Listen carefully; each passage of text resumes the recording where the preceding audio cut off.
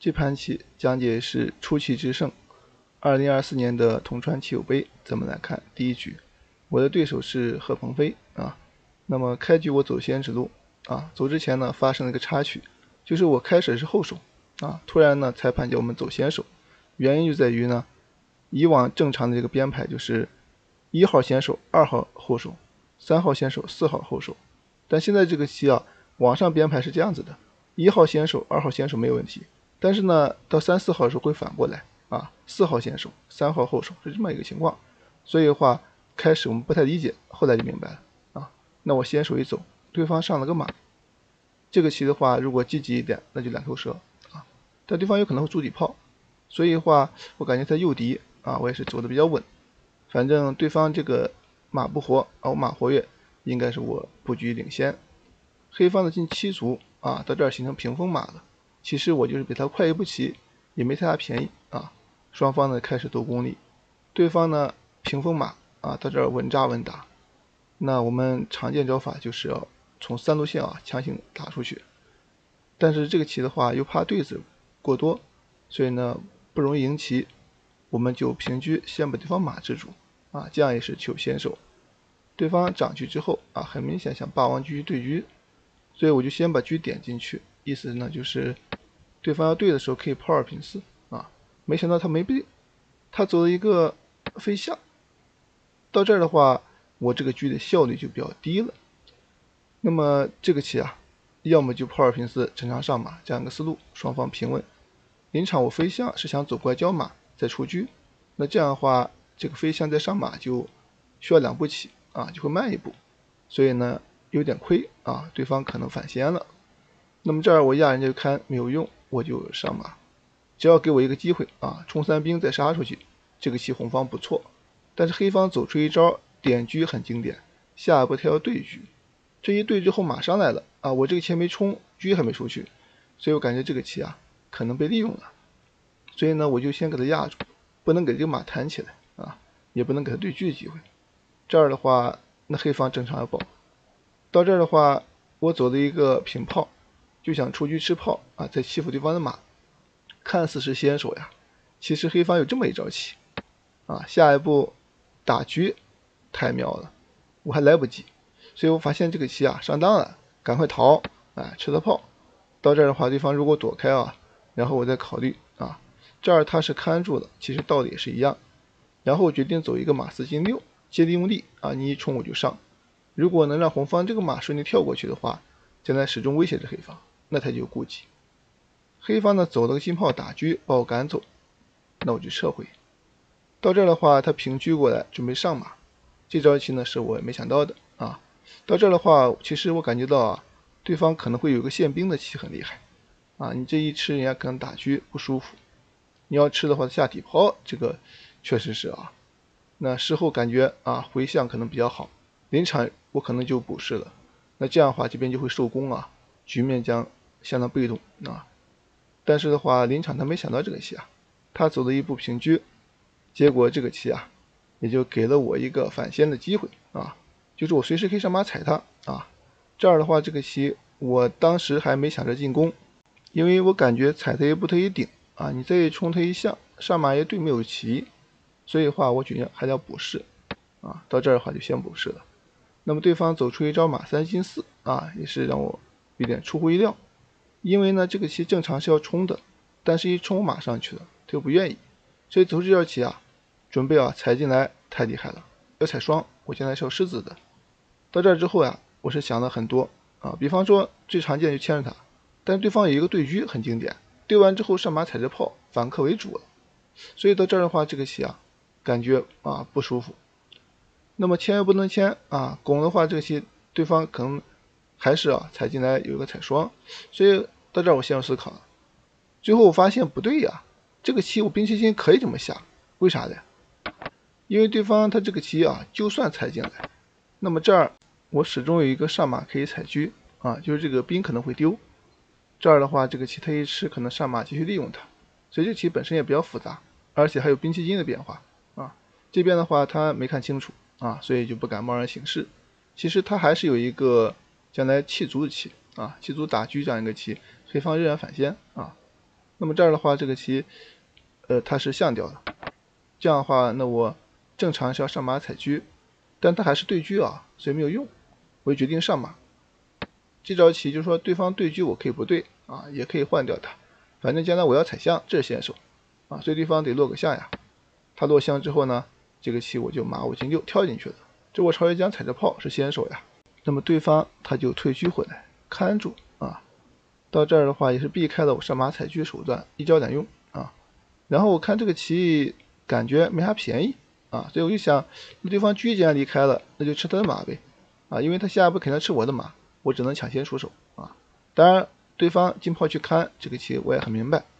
然后的话我就平炮打他一下啊，本以为把对方赶进去啊，将来我出去一对啊就可以了。你要过来牵制我踩车就行，牵的话就没炮啊。所以到这儿，我认为这一对车应该是啊有利了，但是呢，没想到对方走出了八平九，啊，我也是大吃一惊呀。然后我走的是车一平二，这样的话，对方这车就过来了。这招棋走完之后呀，我也是啊，心里一惊，为啥呢？本来想去啊抓对方死炮的，结果人一点车反而一平炮捉我的炮，我怎么办呢？眼看这棋不好下了啊，然后我就想这个棋怎么解围啊？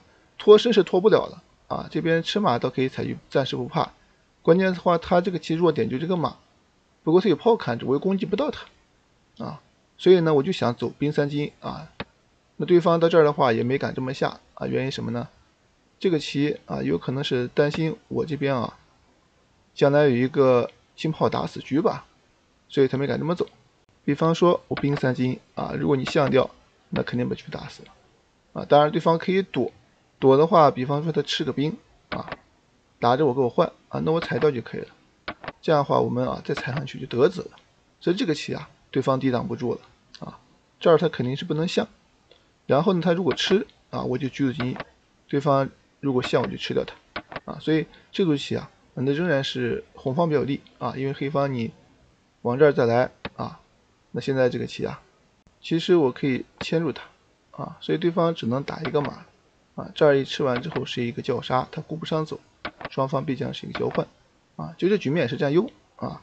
那么前面的话，如果处理的更完美一点，就是啊不吃象，先上马啊欺负他的炮，走开之后再吃，这样的话就万无一失啊，对方连马都上不来了啊。到这儿的话，他如果吃我这个啊，看着也不错。其实呢，我们可以炮八平六啊，对方如果换子的话，上马打车不放啊，躲开之后进车就牵制。啊，所以这组棋的话，红方呀有利啊，优势很大。总体来说啊，对方是担心这个炮八进一打死车，他就没敢轻举妄动啊。他走了一个上马，这招棋其实也是拼了啊。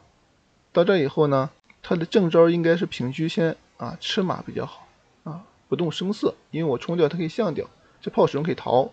那么他急于上马之后，就导致呀我这边吃子儿了。对方想乱战的话，比方说踩掉，我可以退回一拉，又丢一个，所以他就不敢啊。那看着闪击闪不到呀，你踩这个我又吃过去了，所以对方不甘心就走这条棋啊。所以刚才不上马就应该这么下，现在这样已经失子了，他想走这个棋，正常我也跑不了啊。但是我可以兵三进，到这看对方怎么走啊。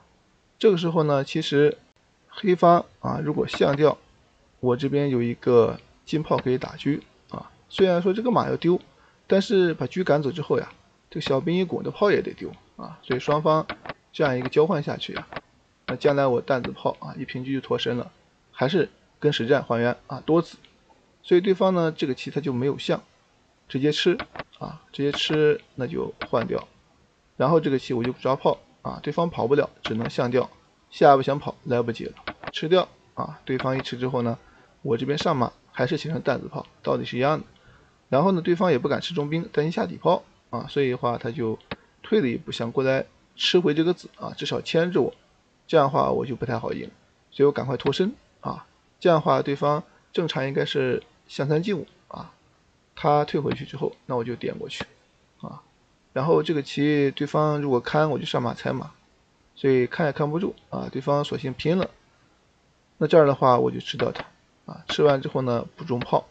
准备打出去啊，但对方也走得顽强，他是回来吃马要吃象，所以我现在打将没有用，我先踩车啊。对方吃的话，我这边啊三路边啊，到这儿我以为要赢了，但是呢，黑方补士之后啊，正招应该是下底炮，但是呢，这个棋临场的话一下底炮人家一出，因为时间比较紧张啊，第一盘棋呢没有设置加秒，所以话谁时间到谁要输，而且残局四十回合不赢就判和了，所以话压力很大啊，我就偏眼观者走了，就没这么走啊。其实这个棋可以这么下，他的后续进攻思路啊应该是将军啊。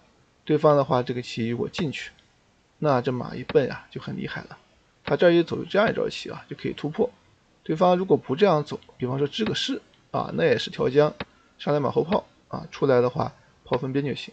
这里有两个选择，一个吃马，一个不吃马。如果吃马有一个分边啊，你再吃抽女车，你不敢吃，那你正常进去的话，不想被他利用。这里啊，吃了中卒就行了啊。红方这是一个胜势啊，那么他没办法。啊，如果说你要是不吃的话，往这一放，就是不让他往这儿走，想锁他啊，一将可以落象。那么这样一个棋的话，其实红方啊不将就行了。那么你吃他回来把车扣住啊，将来过中兵就行。过之前要走个车五平六过门啊，不要给他推炮打车就行。所以这样的话，那也是一个胜势啊。所以说这步棋啊，那对方啊肯定是保下啊，他不能进去，那只能直士啊，直士的话吃就行了。对方在这儿，要么就杀象，那把炮挡住了；要么下底炮啊，直接跳马一将，不管他上还是进啊，这边都差不多啊，就这个变化。对方还得回去啊，对炮叫杀还得下，甩开之后呀就无解了啊。无论你怎么走，跑不了的。马后炮出来的话跳一将，支持的话一面盖死了。那么吃的话不管，那也是跳将，连续手段啊，点将之后一个马后炮啊，所以这组棋啊，一下底炮应该就速胜。啊，但是这个棋啊，当时时间太紧啊，然后有压力没走出来啊。我一看没棋，然后的话我就卧槽去了，想着这一将炮弹遥控指挥不就杀了吗？但是对方守住了啊，那这个炮没点下去啊，马给挡住了，但是也不影响，我再补个炮过来，就想着这炮打中卒不就赢了吗？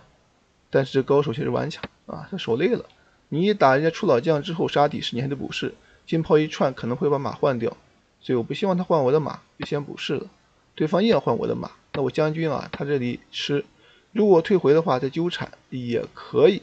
只不过呢，我怕他形成一个规则，就是抓我的马，跟我的马，我的马确实是有根，但是我就一个车砍，他用炮和车捉，他肯定犯规。但临场的话，这个业余比赛啊，万一对方这个规则裁判可能判了耽误时间，害怕超时，我就说那就简单一点吧，啊，不想费这个劲儿。那这主动求变了啊，这样其实我认为也够赢啊。那其实只要走到车炮双兵啊就赢了。但是呢，这个棋对方也是走得好啊，他是车进了一步，想过来吃我香啊。我当时是没想那么多，我就想直接一吃之后他过来，那这还不够赢吗？啊，到这儿的话甩车啊，这个棋他就吃啊。我一看，那这兵如果丢光了也不好赢呀。但是的话，这个棋你又没法去保啊，再保还得丢。那样就很可能赢不到了，所以的话强行加重炮跟他拼了，对方一杀啊，到这儿顾不上吃兵叫杀，他出来是铁门栓啊，只能点车，没办法的，一将把他晃回去，对方吃炮顽强，再点将啊，然后这个棋退回，对方顽强过来吃兵，他不敢动啊，就出老将，到这的话只管过兵啊，他退回之后呢，怎么进攻呢？拱兵太慢呀，我就想这个棋啊，晃回撤啊，其实的话也可以点将再退，但是。担心什么？担心他居后进一再居后退一，把这个边兵给抓死啊！所以话这个棋啊，居军没敢动，准备直接啊推炮之后再一将，给他来一个紧凑的招法。但对方的落象确实守得好，白棋解掉了。我走这个他有补象，我一看这行，走了个炮五平九啊，不能给他这么舒服。走这之后我就想骗他一下，你这个士我继续下兵就完事儿了。结果对方顽强呀，他进去了，就是不上当。我一看不行，非退车不可了。对方一补士之后，我调过来准备应我一下拱兵，就在这个时候呀，对方终于超时了。那这样的话，他即便不超时啊，兵下去三子也够赢了。那么这盘棋啊，就侥幸获胜了。看下一局。